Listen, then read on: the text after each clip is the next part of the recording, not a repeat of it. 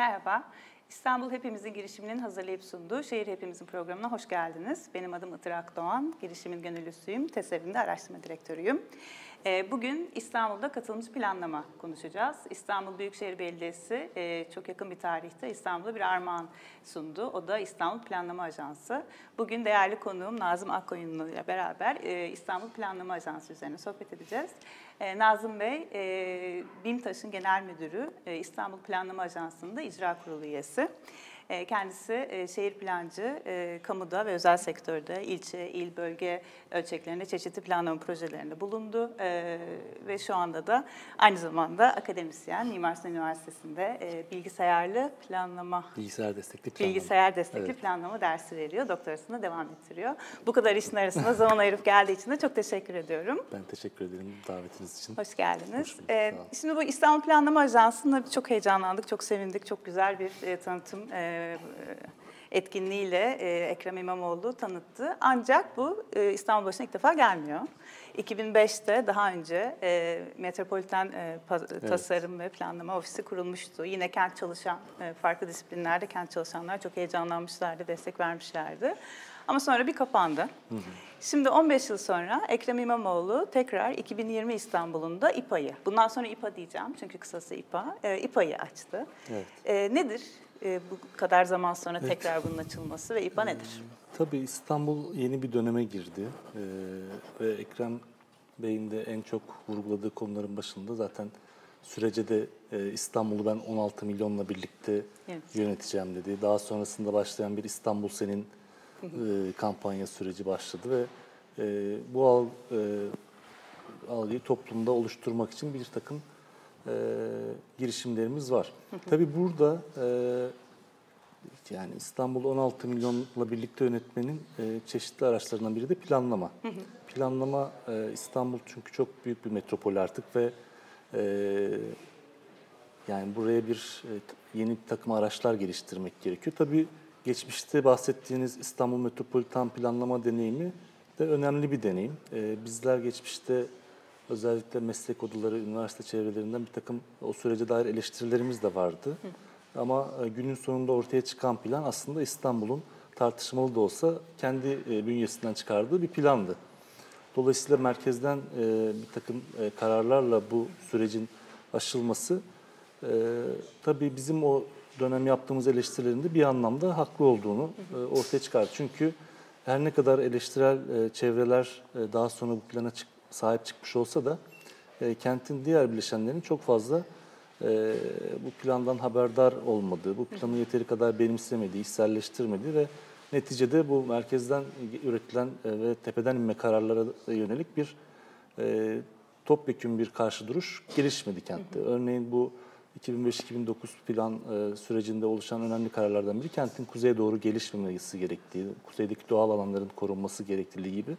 Üçüncü köprünün bu kentin geleceğine ve doğal kaynaklarına zarar verecek bir karar olacağı gibi çok önemli kararlar vardı. İşte yine e, Silivri'de bir e, Atatürk Havalimanı'nda değiş, devam edecek şekilde daha e, küçük ölçekli bir havalimanı planlanmışken yine e, kuzeye doğal kaynakların üzerine yine merkezden ve tepeden bir kararla bir e, değişiklik süreci yaşandı. Sonuç olarak bu e, aslında bu süreçlerin nasıl yürütülmesine gerektiğine dair de bize bazı ipuçları verdi.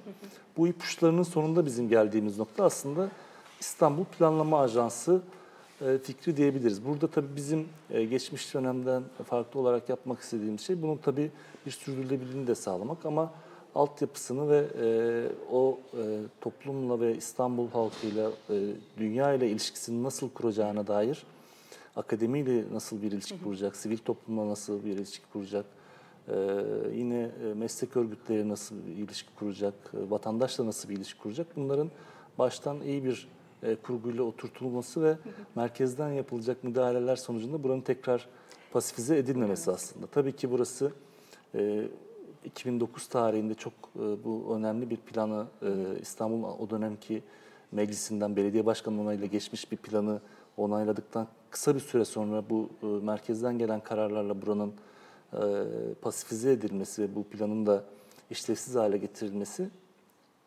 e, bizi bu anlamda bir takım e, başlarken iyi bazı noktaları iyi kurgulamamız gerektiğini de e, bize göstermiş oldu.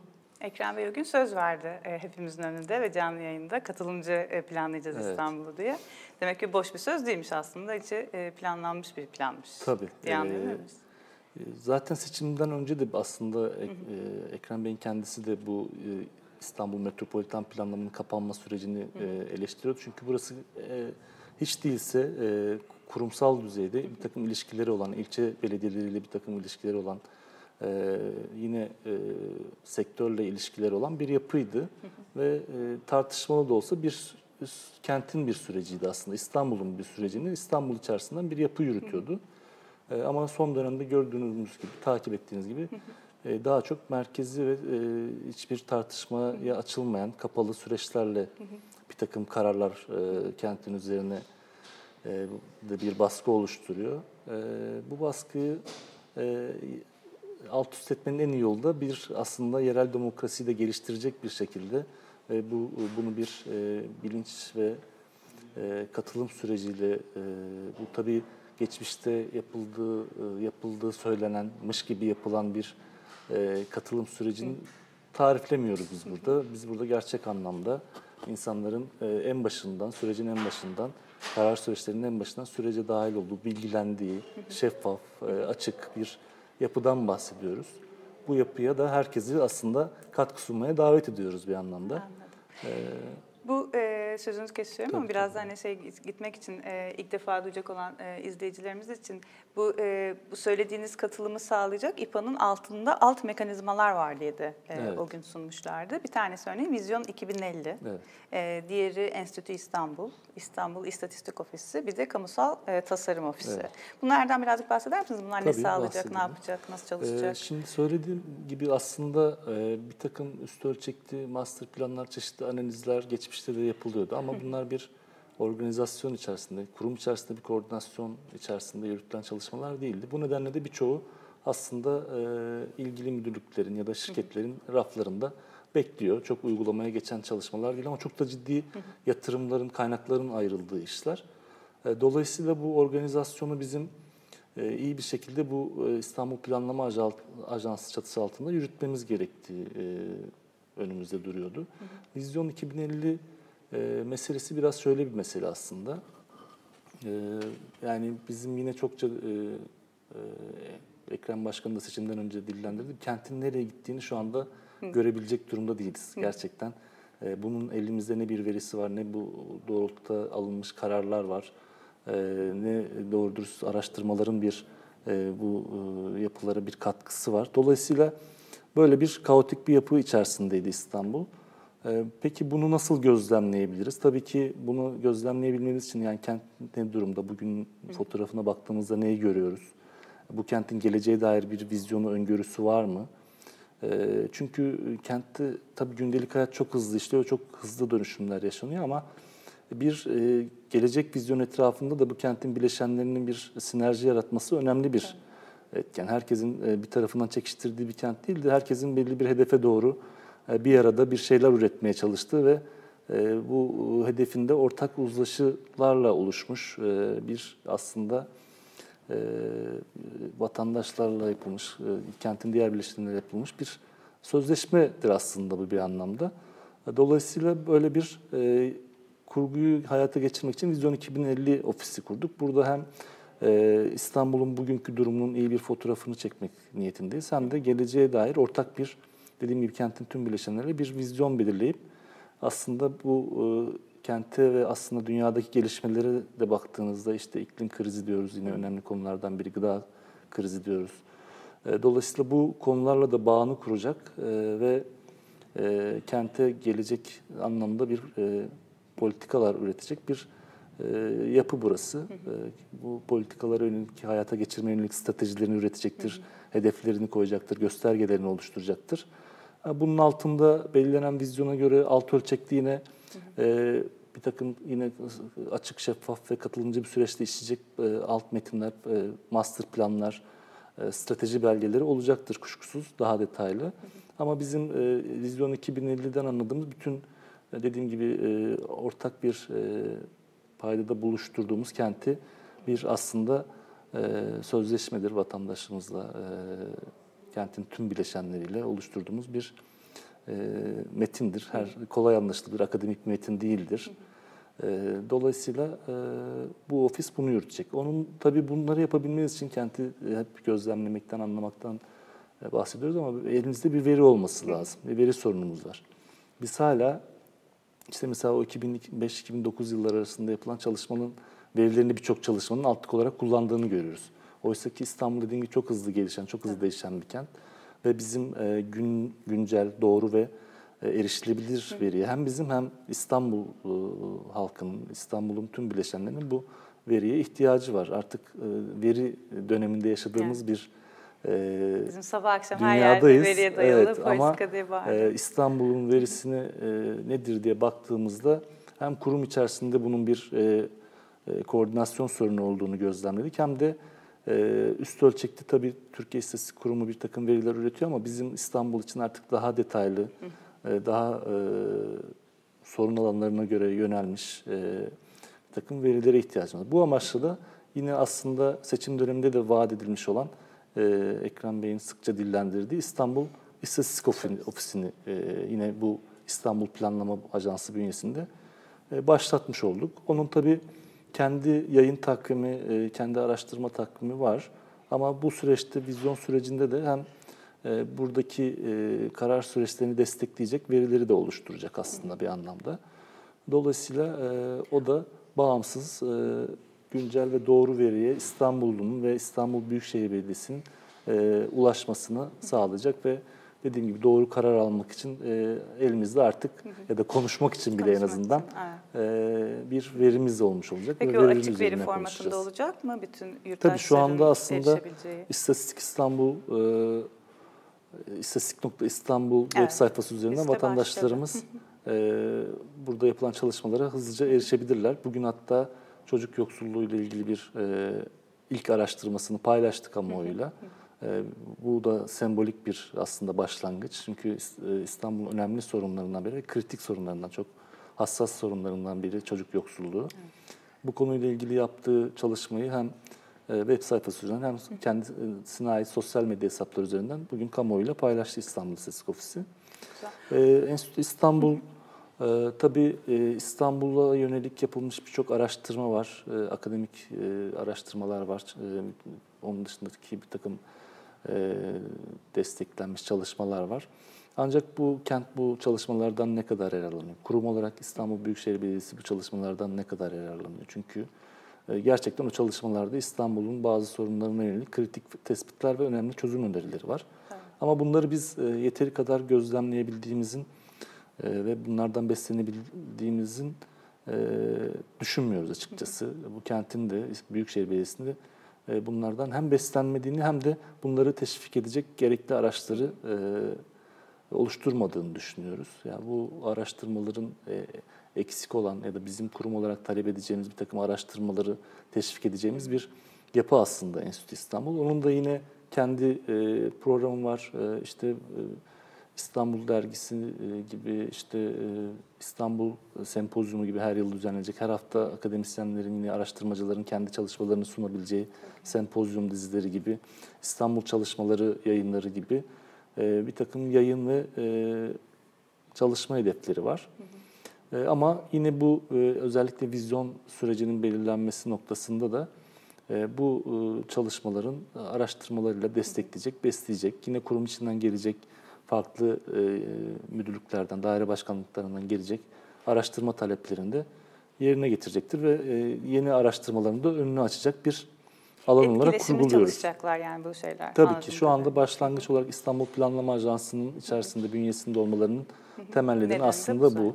bu. Kuşkusuz bunlar ilerleyen aşamalarda büyüyeceklerdir, kendilerini e, e, geliştireceklerdir ve bağımsız birer yapıya dönüşecektir ama o ilişkinin her zaman e, olması e, anlamında bu başlangıcı biz e, bu şekilde kurguladık. Vallahi yüreğimizi sular sarkıyorsunuz Nazım Bey. Çok bol şans. Bir şey kaldı en son. Kamusal tasarım ofisi. Evet. De, kamusal tabii İstanbul vizyonunu hazırlayacak, araştırmalarını Hı. yapacak, verilerini toplayacak ama İstanbul durmayacak bu esnada. Evet. İstanbul'un üzerinde şu anda hala e, yürütülen birçok çalışma var. Bunlar da, da çoğunlukla kamusal alanlarda, meydanlarda, caddelerde, parklarda yapılan e, yeni tasarım ve e, bir takım projeler var.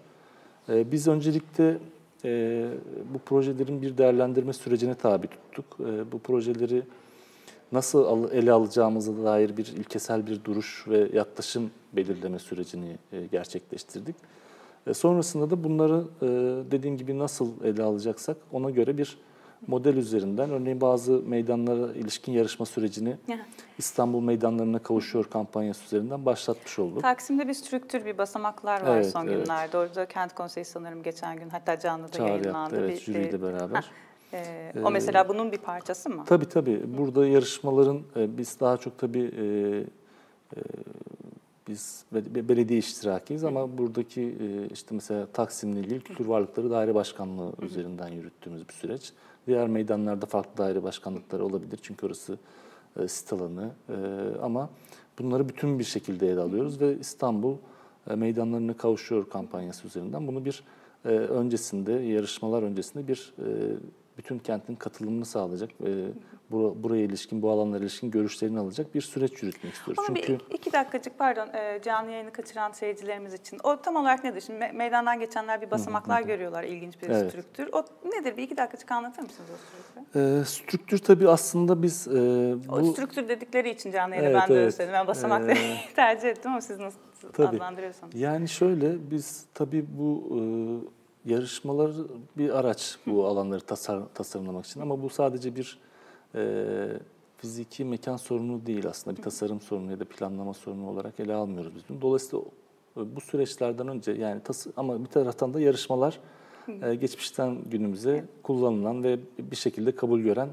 e, araçlar. Ama biz bu süreci daha nasıl açabiliriz, nasıl geliştirebiliriz diye düşündüğümüzde öncesinde biz bu e, farklı anlamlarda, etkinlik anlamında işte sergi olabilir, sanatsal etkinlikler, kültürel etkinlikler, e, onun dışında forumlar, işte bu, bu tarz toplantılar bahsettiğiniz gibi toplantıları gerçekleştirip anketler, röportajlar yapıyoruz, işte çocuklarla etkinlikler yapıyoruz.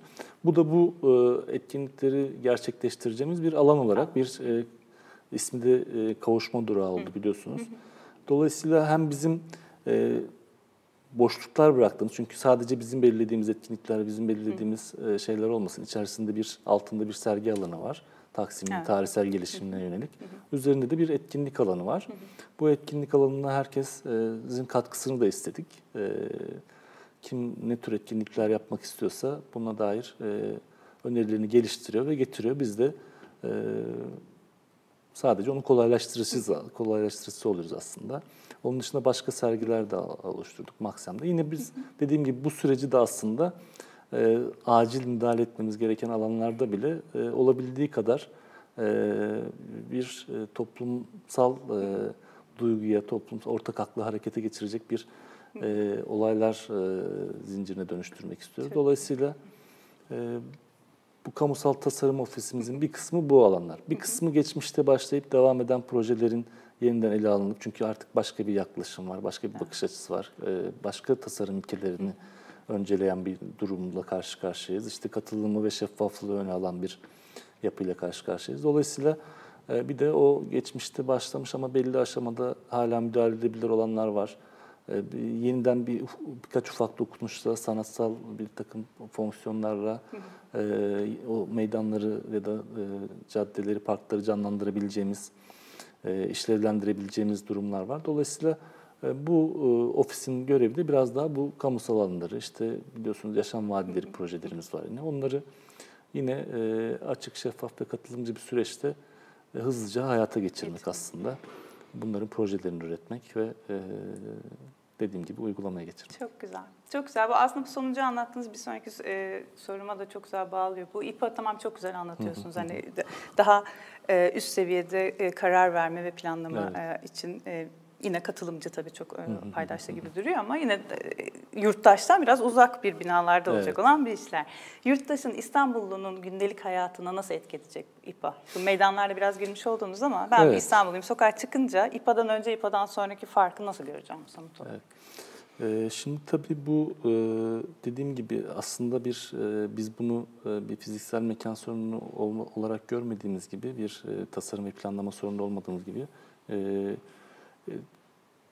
bir fiziki mekanda gerçekleşecek bir olay gibi de görmüyoruz. Yani biz bunu bütün üniversiteler açtık, bu süreci oralarda tartışılsın, bütün e, işte meydanlarda, farklı e, alanlarda bunun masalarını oluşturalım, işte farklı kesimlerin e, görüşlerini alacak etkinlikler yapalım. Bunların içerisinde bir anket olabilir. E, yine bir takım e, röportajlar da yapıyoruz.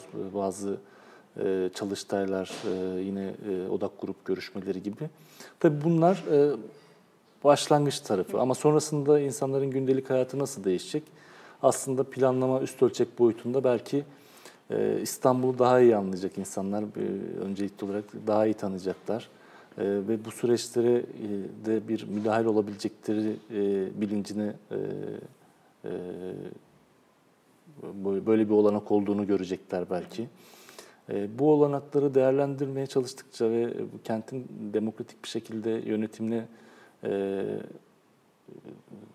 yönetimin içinde oldukları sürece aslında e, şunu görmüş olacaklar. Kendilerinin e, kendilerinin haberi olmayan, e, üstten dayatılan hiçbir projeye olmadığını ve bu uzlaşıyla beraber oluşturulan karar süreçleri, dahil olunan karar süreçleriyle daha güzel bir kente, daha yaşanılır bir kente eriştiklerini kısa bir zamanda görecekler. Tabii bu üst ölçek ve uzun vadeli süreçlerin bir anda kenti dönüştürmesi ve hemen gündelik gündelik hayata etki etmesi zor ama alt ölçekte yapacağımız dediğim gibi devam eden projeler var.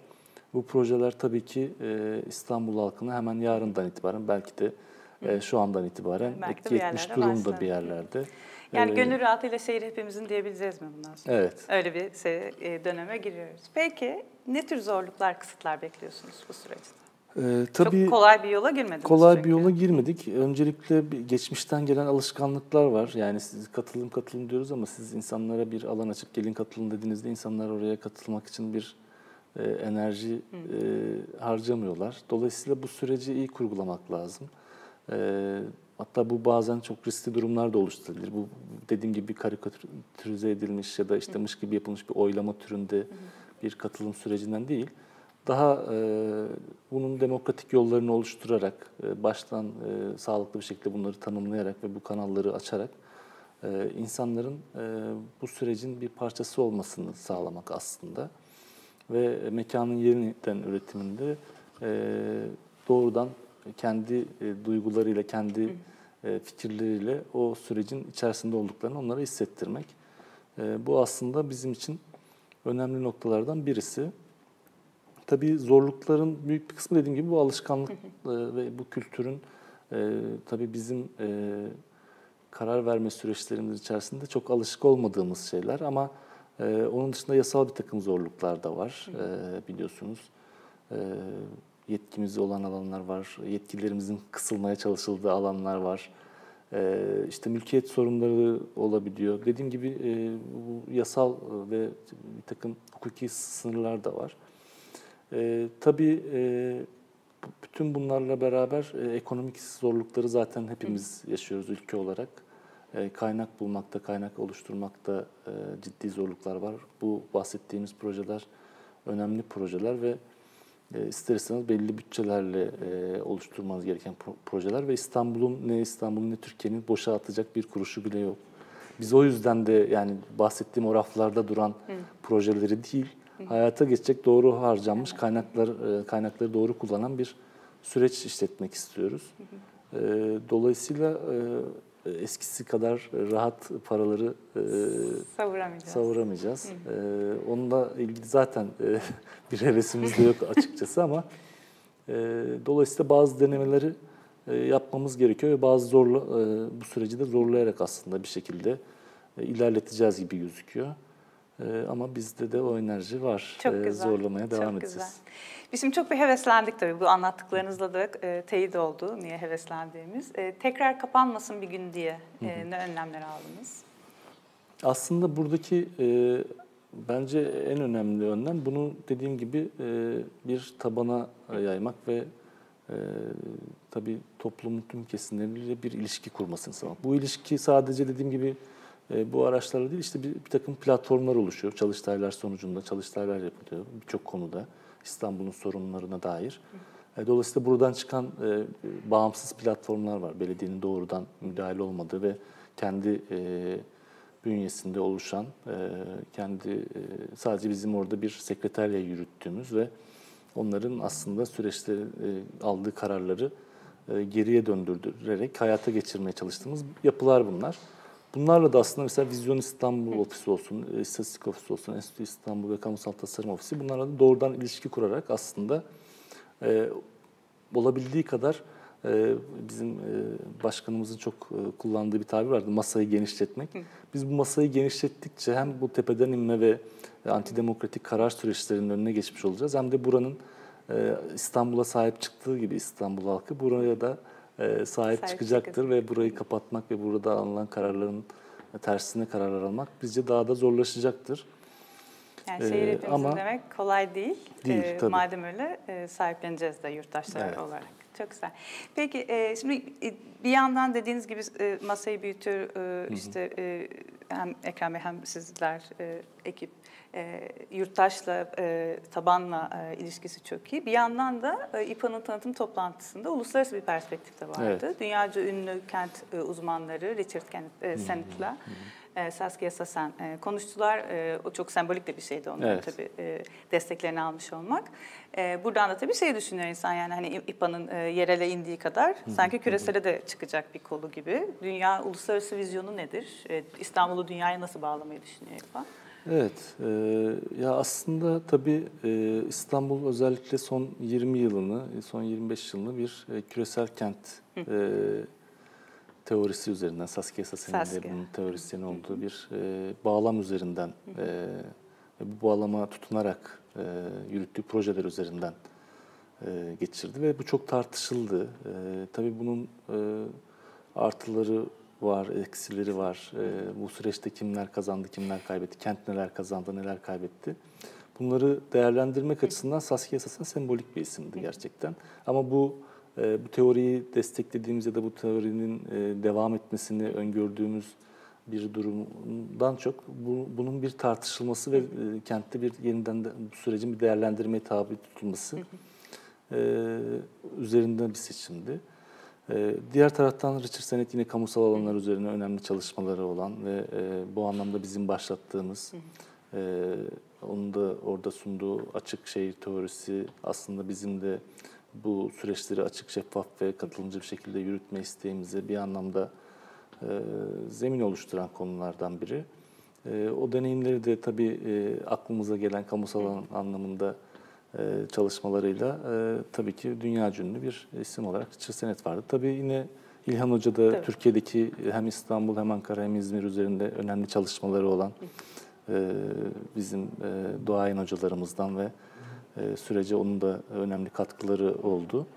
E, biz burada tabii e, artık İstanbul biz tartışmanın bir tarafında bir küresel kent tartışması var ama e, uluslararası bağlamda bir yeri olan, bir e, ilişki ve network'ün içerisinde olan, ister istemez bir etkileşimin içerisinde olan bir kent.